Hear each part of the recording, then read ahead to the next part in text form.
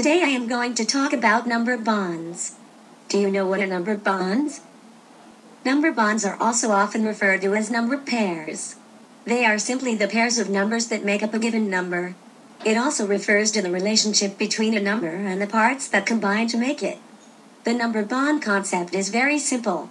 It is an important foundation for understanding how the numbers work. Let me show you an example. There are three circles. They are red, blue and green in color. There are three boys in the red circle and four girls in the blue circle. If all the girls and the boys are going to the green circle, how many boys and girls will there be in the green circle? The red and blue circles are referred to as parts. The green circle is referred to as the whole. 3 plus 4 equals 7. In the green circle, we should have 7 boys and girls. Let's look into another example. Again, we are using the same circles.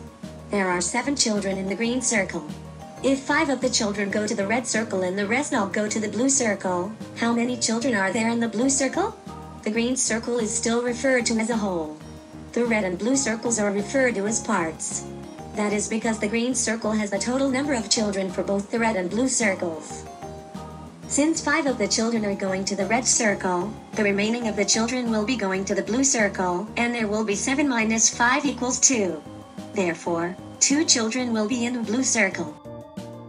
Now, we are going to draw a number bond diagram. Similar to our previous examples, we draw three circles. Make any one of the circle as the whole.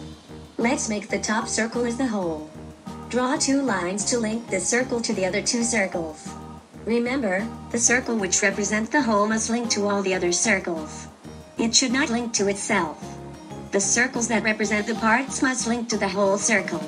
They should not link to other circle, which also represents as the part. Let's us insert some value. Let's put 3 in one of the circles which is a part and 9 which is the whole.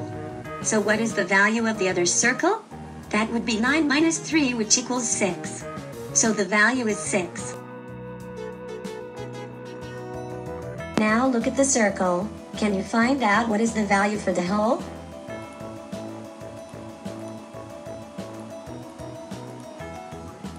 Do you manage to get the correct answer?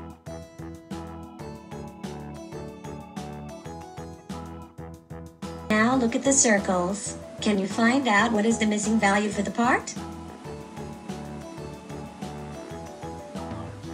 Do you manage to get the correct answer?